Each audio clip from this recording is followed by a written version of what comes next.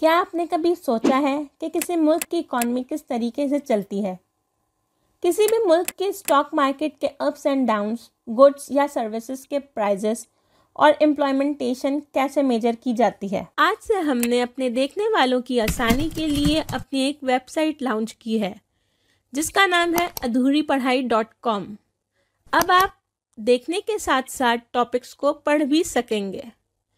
तो इस वेबसाइट पे आपको मिलेंगे पॉलिटिकल साइंस, इकोनॉमिक्स और डिफरेंट टॉपिक से रिलेटिंग आर्टिकल्स, जो आपकी नॉलेज में मज़ीद इजाफा करेंगे। और जो भी वीडियो आपको हमारे चैनल पर मिलेगी, उसके भी आर्टिकल्स आपको अधूरी पढ़ाई डॉट कॉम पर मिलेंगे।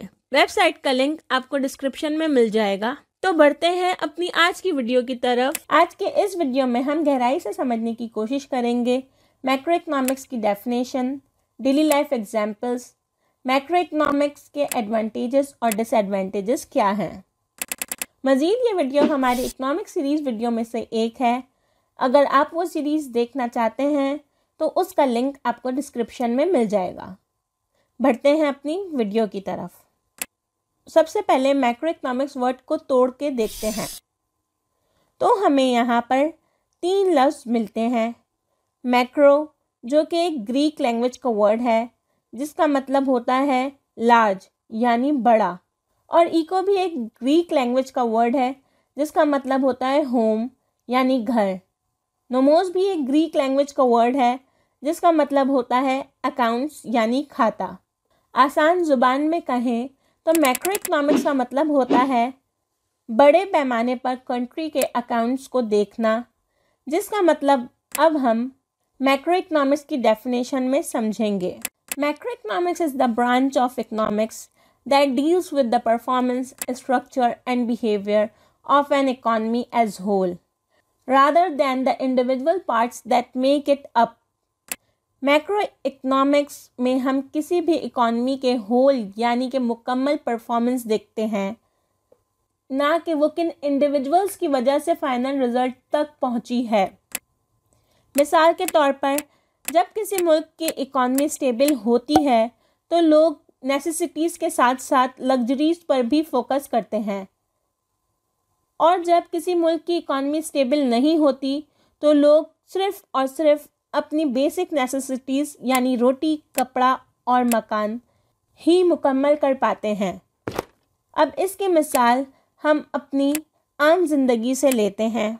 जब मेरे फाइनेंशियल हालात अच्छे नहीं होंगे तो मैं अपने लिए हज़ार रुपये का लोन का सूट लेकर भी गुजारा कर लूँगी।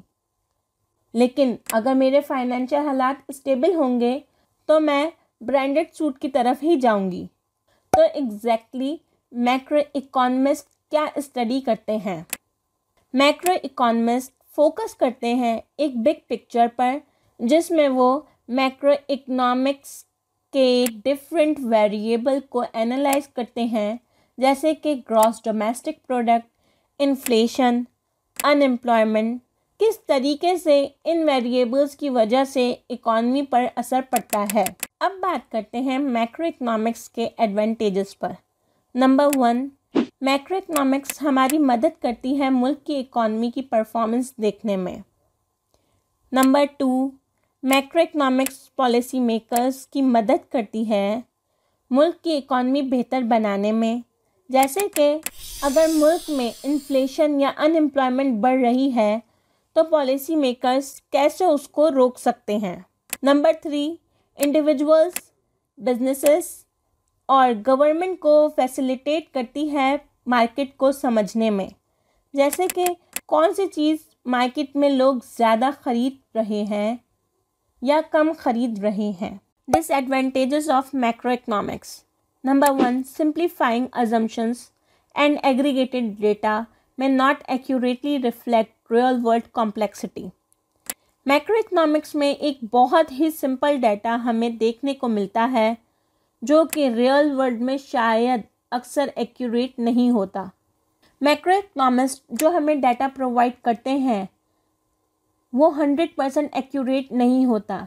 मिसाल के तौर पर, पेट्रोल की कीमत अगर हम एक स्टेबल रखते हुए अपना कोई डाटा तैयार करते हैं तो वो हमारे लिए फ़ायदेमंद नहीं है, क्योंकि पेट्रोल की कीमत में मुसलसल उतार चढ़ाव होता रहता है। कभी पेट्रोल की कीमत एकदम ज़्यादा हो जाती है, कभी पेट्रोल की कीमत एकदम कम हो जाती है। तो इस वजह से जो हमें डाटा प्रोवाइड किया जाता है, वो हमारे लिए फ़ायदेमंद नहीं होता। वो एक एवरेज कीमत रख कर किया जाता है, जो कि हमारे लिए फ़ायदेमंद नहीं है। Number two difficulty in measuring and accurately forecasting macro macroeconomics variables बहुत मुश्किल से एक डाटा फोरकास्ट किया जाता है मैक्रो इकोनॉमिक्स के वेरिएबल्स लेकर। मिसाल के तौर पर, जैसे कि हमने पहले पढ़ा कि मैक्रो इकोनॉमिक्स के वेरिएबल्स में जीडीपी यानी ग्रॉस डोमेस्टिक प्रोडक्ट इन्फ्लेशन और अनएम्प्लॉयमेंट शामिल है। मिसाल के तौर पर एक मुल्क है। उस मुल्क में सौ लोगों की आबादी है। मैक्रो इकनॉमिक्स से जो डाटा हमें हासिल हुआ है, उसके मुताबिक उस मुल्क में अनएम्प्लॉयमेंट का रेशियो टेन परसेंट है। लेकिन अनएम्प्लॉयड लोग ज़्यादा भी हो सकते हैं और कम भी हो सकते हैं। यानी जो डाटा फोरकास्ट हुआ है, वो एग्जैक्टली exactly सही नहीं होता। उसमें कमी या ज़्यादती होती है। Number three limited ability to account for unexpected events and non economic factors affecting the economy macroeconomics में हम सब कुछ कैलकुलेट नहीं कर पाते, जो इकॉनमी इनडायरेक्टली अफेक्ट करता है। जैसे कि, अगर मुल्क में कोई नेचुरल डिज़ास्टर आ जाता है तो गवर्नमेंट और कंज्यूमर दोनों ही उसका शिकार हो सकते हैं। जिसका असर मार्केट पर पड़ेगा। अगर आपको हमारी वीडियो अच्छी लगी हो तो वीडियो को लाइक और चैनल को सब्सक्राइब करें। और हमारी वेबसाइट को विज़िट करना ना भूलिएगा। अल्लाह हाफ़